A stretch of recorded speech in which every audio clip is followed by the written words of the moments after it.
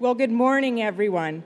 It's an absolute pleasure to be here today in the beautiful Devonian Gardens in Calgary to announce Alberta's path forward to reduce emissions while growing our economy.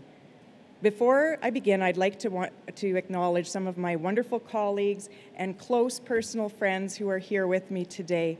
Tanya Fir, Josephine Pon, Prasad Panda, and Rajan Sawhney. Uh, without colleagues like this, our job is much harder, so thank you for being here today. I would also like to acknowledge members from my advisory committee who are here today to watch or who are watching online, um, watching this work online. These are exemplary Canadians who stepped up to share their expertise to help Albertans with a plan that they can be proud of.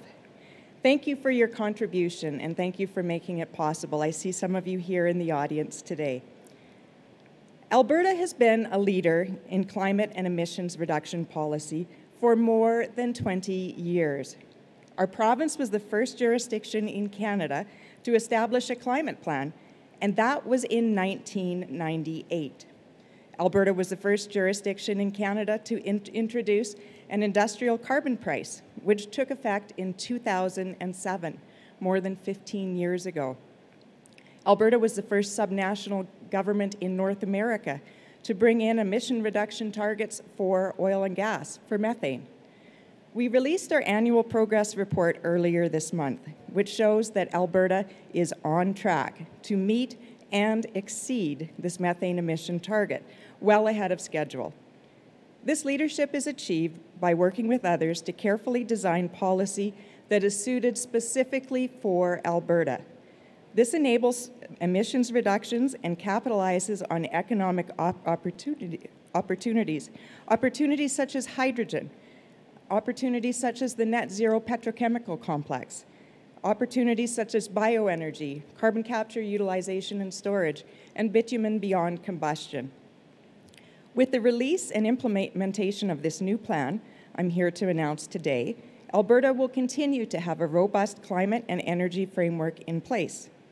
And Alberta will continue to achieve real and timely emissions reductions with a strong focus on innovative technology that benefits Alberta and other jurisdictions all over the world for years to come. We have invested billions of dollars from the Technology, Innovation and Emissions Reduction Fund, our TIER fund, into programs and projects that drive emissions reduction and support resilience through research and technology. This includes supporting partners, partners like Emissions Reduction Alberta, which invests TIER funds for pioneering projects and clean technology solutions for industry to accelerate innovation, stay competitive, and stimulate economic growth. Programs through Emissions Reduction Alberta benefit industries of all sizes across all sectors, targeting innovation in the oil sands, electricity, heavy industry, waste and the circular economy, food, farming, forestry, carbon capture, utilization, and storage. Alberta, in particular, is recognized as a leader in CCUS, carbon capture. We've committed already more than $1.8 billion to CC, CCUS projects to date.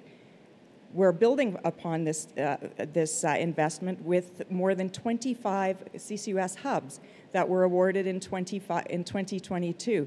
Hubs across the province, if built, that would decarbonize industries in every corner of the province. Industries from oil and gas and oil sands to electricity, fertilizer, uh, petchem, uh, hydrogen, and more. Large-scale support for CCUS is critical for meeting Canada's long-term energy needs and climate goals. In fact, the International Energy Agency has said there is no path to net zero without CCUS, and that's in Alberta, Canada, or anywhere globally.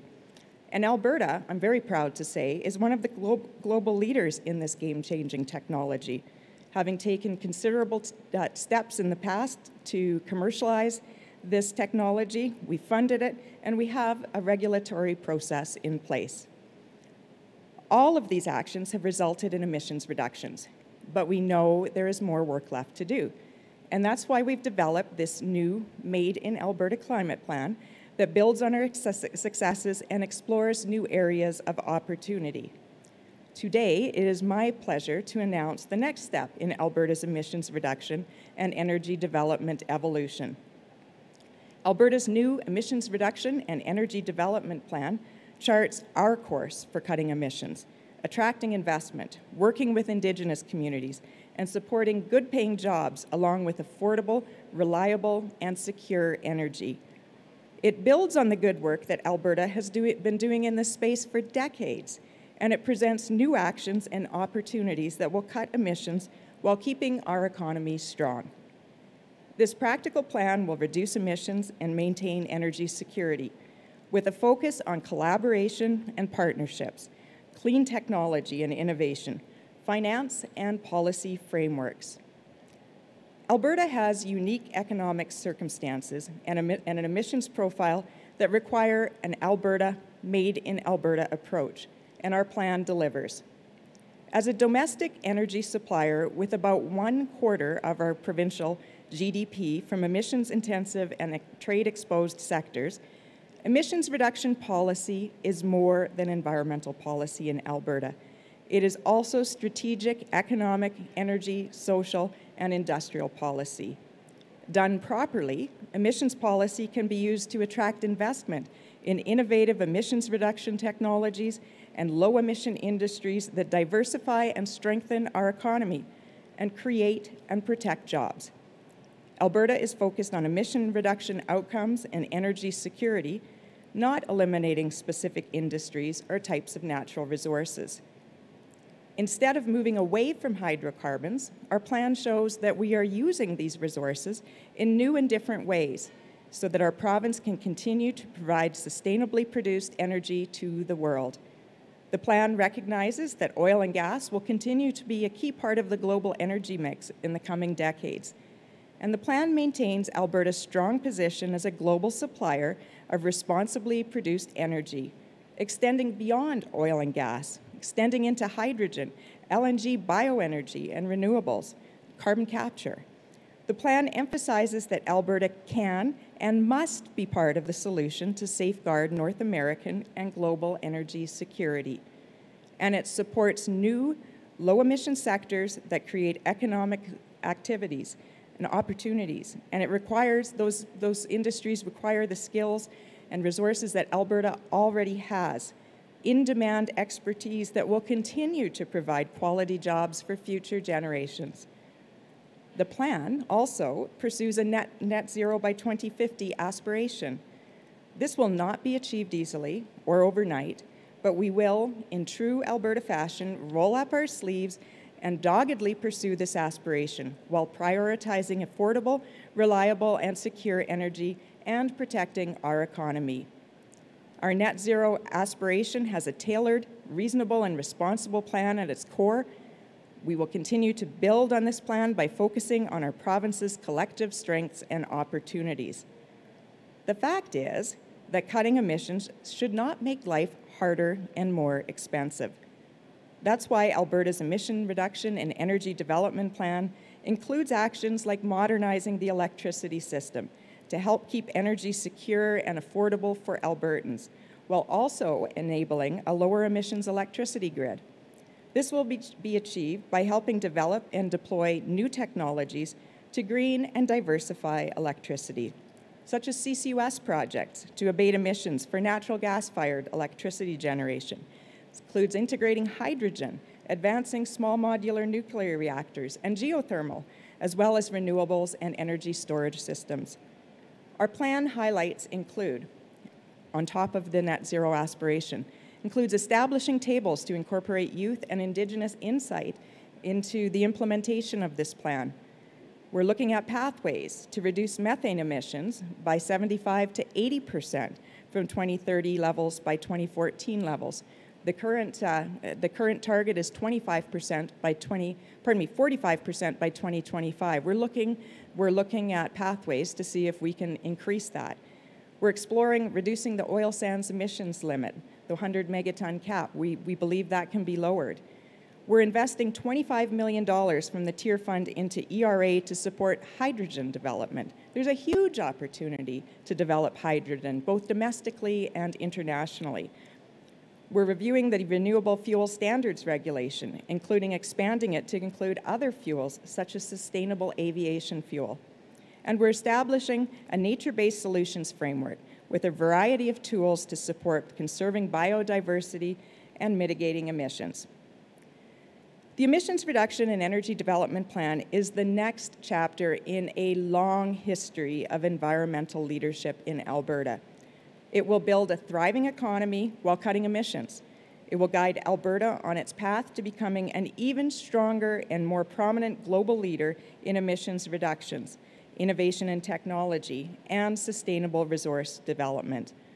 Alberta has a well established and globally recognized record of environmental protection and conservation that goes hand in hand with development of our energy resources. Our plan commits Alberta to building necessary pathways to support a low carbon future while driving Alberta towards economic and environmental outcomes that will ensure that our province, that our province remains strong. As this plan evolves over time, it will be con continue to be supported by the ingenuity, talent, expertise, and the incredible entrepreneurial spirit of Alberta's industry. Our business communities are well known for that. I look forward to seeing Alberta's realistic and deliberate plan in action to the benefit of our environment, our economy, and all Albertans today and into the future. I'll pass things over to Miguel to take any questions. Perfect. Uh, thank you very much, Minister. Uh, so we will move to questions on the floor if we have any. Uh, gentlemen, ladies, we have a microphone here on the floor. Yeah, go ahead. You can see me, Minister. Hi, James Millar. I'm the president and CEO of the International CCS Knowledge Center.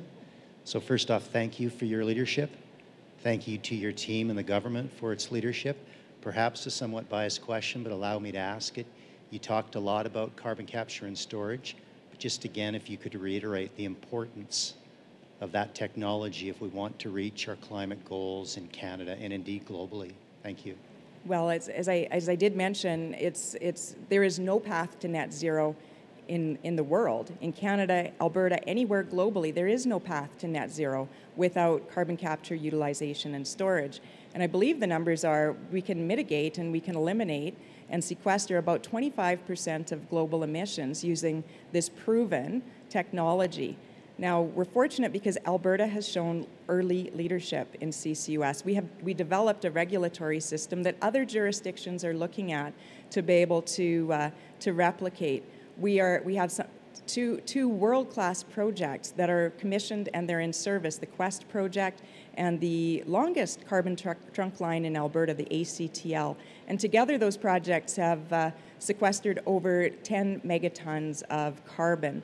Um, last year, we took the unprecedented step to be a leader, to be a further leader in the technology, and we, we issued uh, uh, exploration and evaluation permits to 25 uh, for 25 CCUS hubs across the province, and that will have the ability, should they be built, to decarbonize um, virtually every corner of the province and every industry from oil and gas, electricity, um, oil sands, um, petrochemical, hydrogen, uh, fertilizer, uh, uh, natural gas, uh, power production. It's the, the, the, opportunities are incredible. But to get there, we need to provide companies with the certainty they need. Um, we're competing with the United States for resources, capital resources. Um, we, uh, we're behind the United States with the Inflation Reduction Act and the incentives they're operating. So we have more work to do, but I see the opportunities tremendous in uh, CCUS. Perfect. Thank you very much. Uh, next question, please. Evelyn Asselin, Radio-Canada. Um, a lot of this plan is based on technology that hasn't been proven or that needs to be scaled. Um, how realistic or how much of this is solid with the objective of 2050 based on those technologies? Well, I think that's part of the key to our to our plan is you can't just pick random targets with a random date and with random reduction targets and say we're going to get there. Um, we have to do the hard work, and that's what our plan is going to do. We're going to, to do it sector by sector to look at abatement curves, CO2 abatement, carbon abatement curves, to understand what is viable. Uh, where, where is technology today? Uh, what technology has to come to scale? How can we finance these projects? How expensive are they going to be? Who's going to pay for them? Do we have the regulatory process to deliver, and in what time frame? Uh, do we have uh, the, the ability to mobilize capital in a world where every country is looking to do the same thing we, we are here in Canada and Alberta is to lower emissions. So we know that the, we know that we need to do more. We know that we want to get to, to net zero by 2050, but we have to be realistic. We have to do the hard work and find out what's possible, and that's what our plan is doing. Did you have a follow up? Um, where um, there's no interim targets and accountability measure in the plan. Well, you're, you're right. So some will see not having interim hard regulated targets as a gap. They'll see that as a gap. But I don't, I don't see it as a gap because before we regulate or impose limits on specific industries and interim targets, there's more work to be done. We have to see what's achievable. Um, we have to undertake a comprehensive studies, and these are massive, comprehensive due diligence studies on sector by sector assessments to find viable pathways, to understand the technology, to understand the cost, who's going to pay for it, what policies and programs have to come together. We need to know what's achievable and what's possible because you can't build a plan with, with, by just picking a random target, attaching it to a random date, and just hope that it will magically work. You can't, you, it just doesn't work that way. Hoping that you are going to somehow magically reach a target is not a plan. Hope is not a plan. You need to do the hard work to find out targets that are achievable. Otherwise, you'll just miss that target. And we've seen that over and over again. I believe Canada has missed nine targets over the years. So we can't do, we have to do things differently. We can't just pick a random target. And believe me, when we, when we uh, are, do complete this work and the assessments, we'll know what's possible. And we'll move in true Alberta fashion to, uh, to, to be the best at it and to get ahead of every other jurisdiction in the world. All right, thank you very much, folks. Um, let's move on to questions on the line. Um, operator, could you please put forward the first caller? Aaron Collins, CBC. Hey, thanks for taking my question. Um, Minister Savage, in your message at, the beginning of the document that you released today, you write that you're completing comprehensive assessments of technology, pathways with industry, experts in each sector, uh, cost, timeframes, uh, basically the nuts and bolts of this, uh, the things that are needed to accelerate emissions reductions. So one would think that you need those assessments and that they're key to creating an actual plan to reach net zero. So without them, my question is why release this document today? Why not wait? This feels premature. Well, I think it's important that we have a, a, cli- a climate plan. We, we're, we're behind. I wish this plan had been out two years ago, but we, we know we have work to do. Uh, sure, it could have been released in another year's time, but then that's another year's time lost. I, I can tell you that I've spent uh, the last four years talking to international audiences, whether it's the financial se- sector and community or energy conferences or at COP27. And when I talk about the record of Alberta and this tremendous long environmental legacy, people are shocked. They don't know that because we haven't packaged it up into one solid document that talks about this record and this continuation and this evolution of our plan. So that's long overdue. Um, yes, I would have liked to have had those interim targets done, but that takes time. And the choice between taking the time to do it and not releasing a climate plan until that's done or releasing it now, that choice is really, really obvious. Our energy sector, our industry want a plan. They want to see us moving forward. We have a tremendous record to be proud of. So that's why we're putting it out, putting it out now. And it is part of our my mandate letter from Premier Smith. There's a new focus on on environment and, and emissions reduction in our government, and I think it's timely we needed this done. Did you have a follow up? I do, yes, and thank you for that. That's uh, that's an answer. Um, uh, to to the previous question, you said hope is not a plan, right? I want to turn back to your letter. You write Alberta's aspiration of achieving a carbon neutral economy, uh, a net zero economy by 2050. So that's hope. What is it?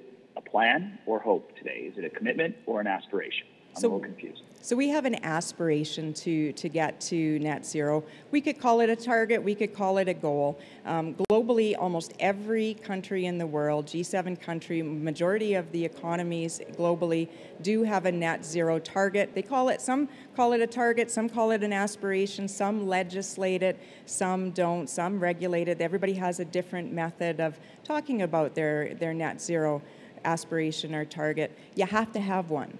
You have to have one. Um, the interim the, the interim actions are are essential. And I guess I would just say you know what? Albertans want results. They don't necessarily want targets and especially targets that aren't aren't achievable. So yes we have an aspiration for for net zero but don't count Alberta out. If there's any place on the planet that can achieve this and can roll up their sleeves and has that get her done attitude it's Alberta and we're building on decades of environmental progress in this area Thank you very much, Minister. Uh, operator, could you please put forward the next question? Carrie Tait, Globe and Mail.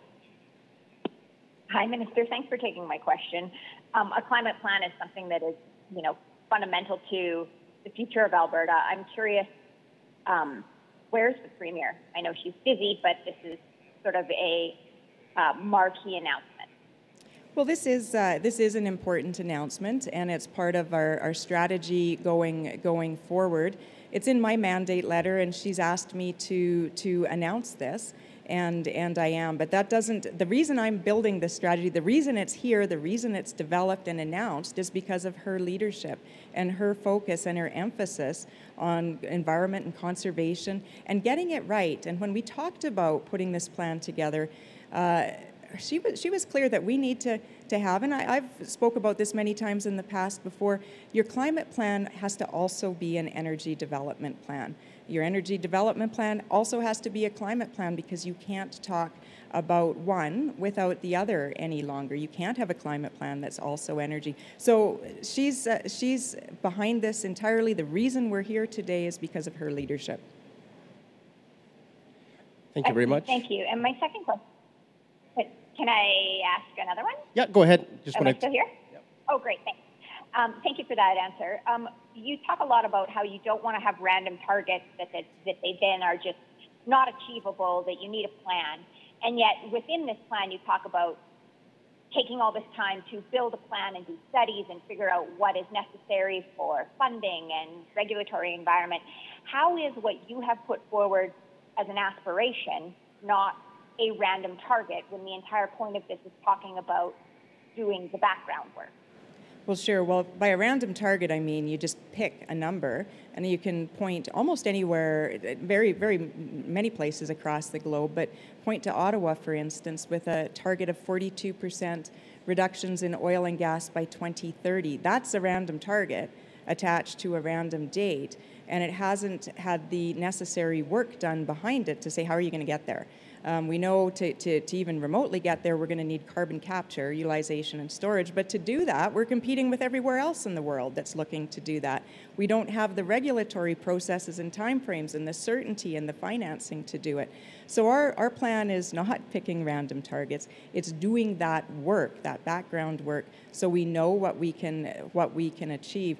And remember, we're we're we're about results in Alberta, not just picking a random target. And you can see that in the plan over many years, over two and a half decades of results. And with or without targets, with or without aspirations, Albertans are, are getting it done. Thank you very much, Minister. Operator, could you please put forward the next question? Catherine Griwkowsky, Alberta Today. Yeah, thanks for taking my question. Um, the report mentions Indigenous collaboration. In your opening remarks, you mentioned um, this panel that's going to be struck. Um, earlier this week in Ottawa, there's testimony from Indigenous communities that have called for the AER to be disbanded, and they don't want to be consulted. They want to actually have decision-making authority when it comes to regulation. Um, why why are you taking this approach of a panel as opposed to um, further further regulatory say? Sure. Well, in our in our uh, plan, we do have, and it was a great recommendation that came from the Indigenous Resource Council (IRC), and I see Stephen Buffalo here today to have. Uh, Indigenous knowledge keepers to help guide our plan and our strategy and the implementation, to hold us to account, and to be able to, to uh, give us advice with uh, using traditional knowledge and their viewpoints. So that's in there. Um, the situation at, at Kearl is very unfortunate when there's been a loss of trust and confidence with a community that wasn't notified of something that's very significant to them. We need to find out what happened, and I've said right from the beginning we're going to take a look at the processes uh, within the AER, within the industry, and ask were those processes followed. And if they were, were not followed, that's one thing. And even if they were followed, do they need to be enhanced? And that's, that's, what needs to, that's what needs to be done. That's the approach we're taking. Catherine, do you have a follow-up? Yeah, question on electrification. So, listen to are some huge success stories. We have the largest off-grid solar farm. We have the largest solar farm in Canada. And yet some of the comments from the Premier seem to suggest that these large-scale projects are eating up valuable farmland, um, that there's a the question of reliability in the grid, and so we need more natural gas. And then on the federal side of things, there's concern that they're not going to allow for more natural gas to make up for the phase out of coal. So how do you balance solar, wind, and natural gas in the electricity grid? Well, the one thing we know for sure is that we need natural gas as baseload power. Um, our plan is more than just an environmental plan, a climate plan. It balances energy affordability, reliability, energy security. So we have to look at all of that holistically.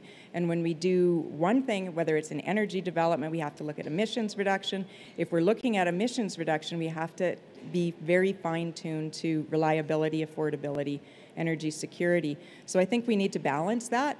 We're really proud of the leadership in uh, the electricity sector by they've already reduced emissions by 40% and that's today. They're on track to reduce emissions by 61% by uh, 2030 and that's while growing electricity, growing the supply of electricity. So we're going to need all sources of electricity to to uh, lower emissions, but it's, there's no question it's going to need baseload natural gas to get there. We will not and cannot sacrifice reliability. We live in a cold country. People need to know that their lights are on, that their power is, is on, that they're going to have warm, warm homes. But we know we have to balance it, and our plan is, is designed specifically to have guardrails, guardrails on what, what, what we're doing to not sacrifice and compromise people's ability to have reliable, secure energy. All right. Thank you very much, Minister. Operator, could you please put forward the next question? Chris Varcoe, Calgary Herald. Hi, Minister. Uh, you talked about these comprehensive uh, assessments that are going to be done on a sector by sector basis. What will be the timing of that? And at the end of it, do you expect to put in place either interim targets or targets uh, by 2050, but I guess really interim targets is what I'm talking about for each individual sector. Is that the plan? Yeah, that, that's a great question.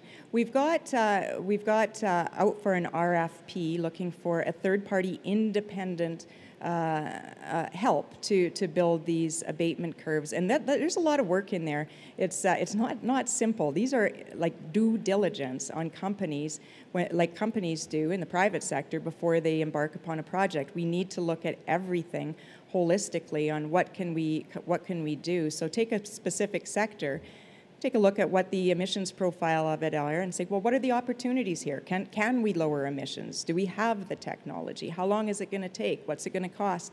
So that, that's going to take some, some time. I don't want to predict specifically on how long. Um, you, you saw some of that work and similar work done by Pathways, um, by Pathways on how they develop their net zero uh, net zero target, finding credible, viable, technologically sound pathways. That's what we want to do. So I don't want to predict a, a, a specific time, but it's going to take a number of months at least. And uh, will we uh, regulate those targets? Well, I think that's going to be for the, you know, the next, the next minister to determine the next government. But I, I would think that would be practic- practical if we know we have an achievable, um, realistic, um, achievable, viable, affordable target that's not going, that's going to fit within all the principles of our plan that include energy security, affordability, reliability, um, I, I think it would be reasonable to expect that that would be considered. Chris, do you have a follow-up?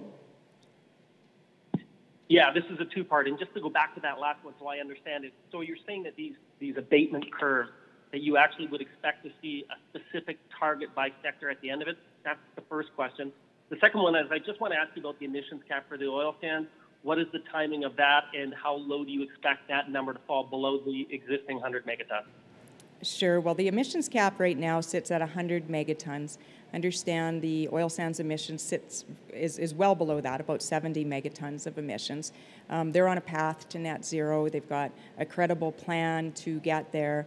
I think it's realistic and, and logical that we can lower that emissions cap in in uh, in sync with what they're doing. But it's there's still some uncertainty and how long it's going to take them and how they can achieve that. They're dependent very heavily at the beginning part of their pathway on, on CCUS. And right now, there's a lot of uncertainties with CCUS on understanding the economics. They need, uh, you know, whether it's whether it's incentives, whether it's regulatory, whether it's policy alignment between Ottawa and Alberta, whether it's the carbon price and contracts for differentials. There's a lot of work to be done there.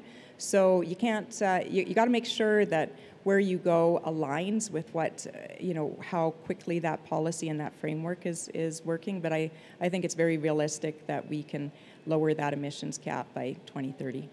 Thanks very much, Chris. Uh, operator, could you please put forward the next question? Kelly Cryderman, Globe and Mail. Hi, Kelly. Hi there. Uh, just following up on Chris's question um, and whether targets will be regulated or legislated is inherent in this plan today. Will there eventually be legislation or regulation to enforce that 2050 goal, even? Well, I think, uh, I mean, as I said before, there's a number of different jurisdictions around the world approach it differently. Um, you can look at some, some jurisdictions, and there's websites that track all of this and, and who has what types of targets and how are they achieving it. And see, the United States hasn't hasn't uh, has a policy. Saudi Arabia has a policy. Interestingly, Russia has legislation to impose a 2050 net zero target. But does anybody here really believe for one second that Putin will follow that legislation? So I think the, the, the question here isn't about uh, whether you legislate the targets, it's about having realistic pathways to get there and providing the supportive and the right policy frameworks to, to do it. Um, that would be for another another day, another time. Right now, we're not we're not uh, looking at legislating an aspiration to net zero. We're not we're not looking at legislating it. But someday, another minister, another government may may say, you know what, we're getting there. We're we're well on track to it. Let's let's put it into legislation to showcase it to the world.